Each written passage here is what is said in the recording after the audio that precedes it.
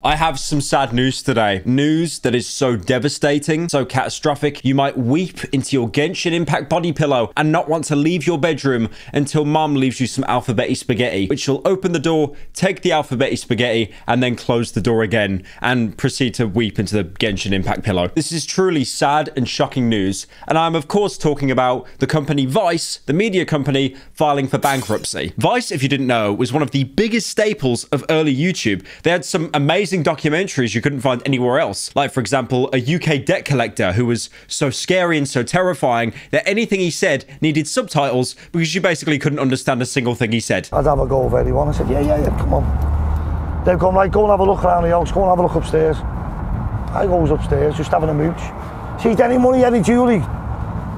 All right, I'm looking around, neck and neck and. Go on, John, go on, go on. Even kind of recently, in the past half decade, they had Oobah Butler, who is one of their biggest creators. He's the guy, by the way, that everyone says looks like me for some reason. We don't look anything alike. I, I do not see the similarities whatsoever. He'd upload some really viral content, like, for example, the time where he was breaking very bizarre and like niche laws in the UK, like handing a fish suspiciously or cleaning a carpet outside of Buckingham Palace. And also, not to mention the fact that he played Knock Door Run on the Prime Minister's porch.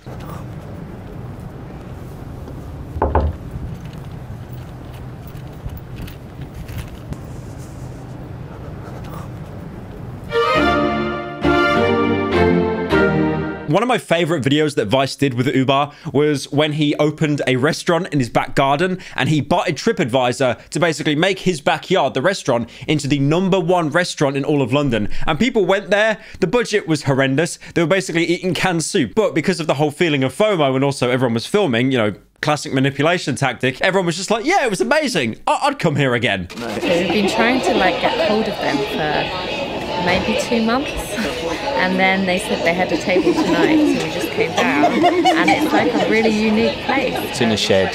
Um, it's quite hard to, to get a table. So here we are, it's actually quite cool. And even when Vice started off, like like nearly 10 years ago, you had some really interesting docu-series. Like, for example, when Mike, the head of Vice and the founder of it, went to North Korea. And it actually got so bad that North Korean officials went into his office and they tried to basically apprehend him. And he was told not to go into work that day. Vice basically did a bunch of interesting things, looking at a world that you might live in, but not fully understand, or just, you know, locations across the world that you'd never be able to visit. But then over the years, Vice fell into a trap that many YouTubers fall into, and it is called the slop trap. Vice went from really thought-provoking documentaries to basically setting up a dartboard and throwing darts at it, and whatever the dart landed on, they'd do a video. But the thing is, the dart only had two subjects, something about sex and something about a drug. Oh yeah, and there was a third part of the dartboard at the very bottom, delegated to just Donald Trump. The thing is, if you like political stuff, I can understand that. But when I log into YouTube, I kind of log in to escape how shit the real world is and to get away from all that kind of stuff. I subscribed when Vice made videos like the real Walter White or the real Saul Goodman, comparing characters in real life that were caricatures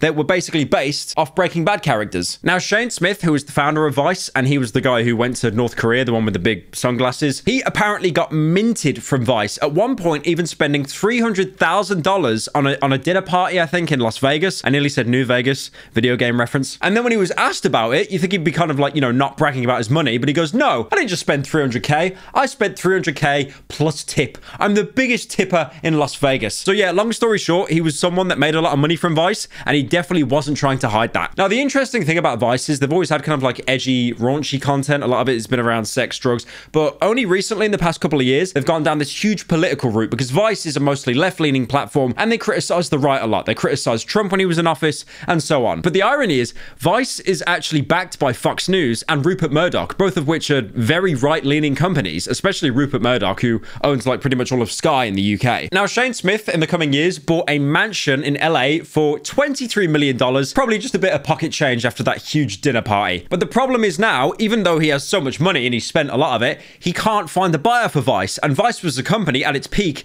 valued at $5.7 billion.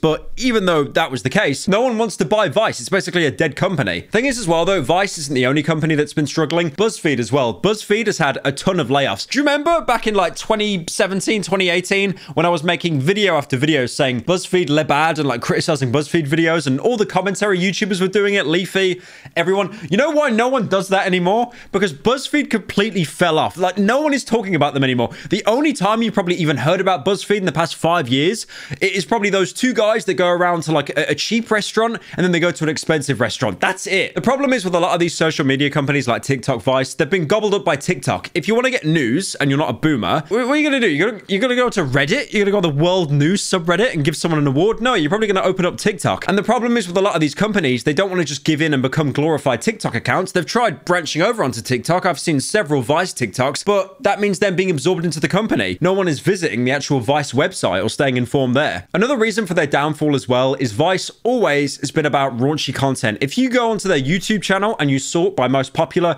you'll probably be greeted by some sort of cannibal, some sort of drug epidemic, and then a Brazilian girl's butt. It's content that came from the era of Filthy Frank, and believe me, I miss I miss Papa Franco. I really do. But that was a different era of YouTube. Unfortunately, it wouldn't fly now. And, you know, people like Frank that got out Joji, he did it at the best time possible. Apparently now, through studies, uh, Gen Z is meant to be a lot cleaner and, like, more focused on themselves, whatever that means. Gen Z being the people born between 1995 and 2010. And anyone born after 2010 is probably going to be, uh, is basically going to be a child scrolling on iPad, commenting, what does blood think he doing?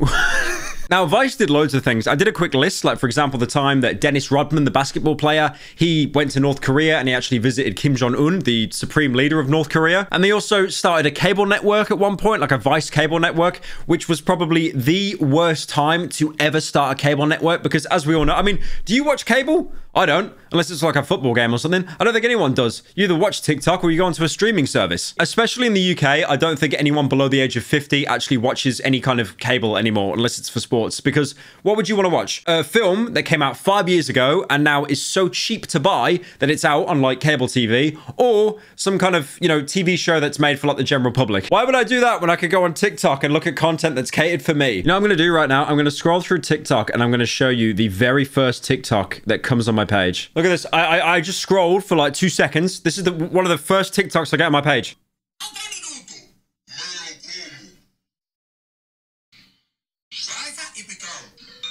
It's so weird to think though that Vice is basically just going to end up being like another AOL or like Yahoo. It's basically just going to be like a shell of a company that's just going to shrivel up and die. Meanwhile, companies like TikTok are just going to keep changing. I mean, before TikTok, we had Musical.ly, which were owned by pretty much all the same companies and shareholders. But now after Musical.ly dies, we have TikTok, and before that was like Vine. So this kind of short form content where you get like a quick hit of dopamine, it is here to stay, unfortunately. The problem is now, um, I think every single generation after us is going to have some kind of soft attention deficit disorder. I mean, look at this, bro. Look, look, look, look, look. look. I got, I got to show you something right now, bro. Look at this. Look at this. Look at this. Look at this. Look at this. Look at this. Look at this. Spotify have added like shorts now. Spotify. Look at that. You can just keep scrolling.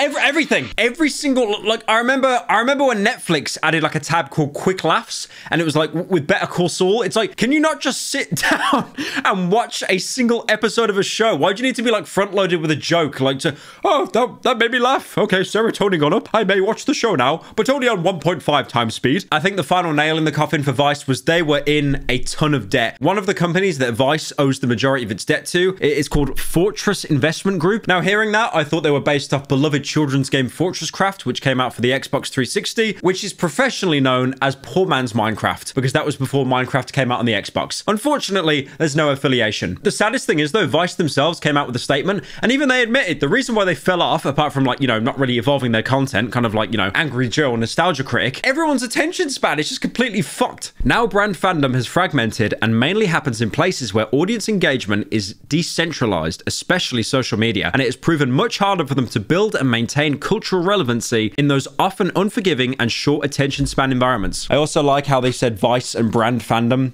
in the same sentence. Like I'm I'm wearing a Vice t-shirt right now and I do like Vice stan edits with like hyper pop in the background, also kind of like nightcore dubstep.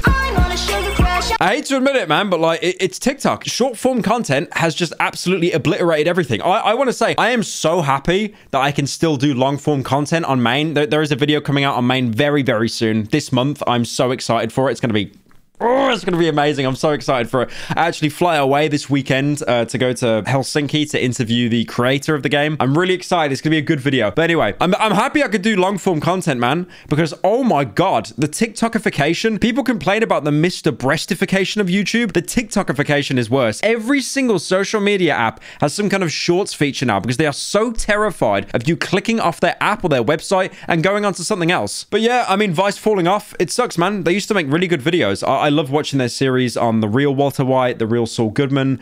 Uh, their drug stuff in foreign countries was really interesting as well. I think they even covered like the bubonic plague resurging in Africa at one point. But now it just seems to be, oh, what, you, you telling me people take drugs in the UK? Oh, ah, look, he took drugs and now he's sad. Oh.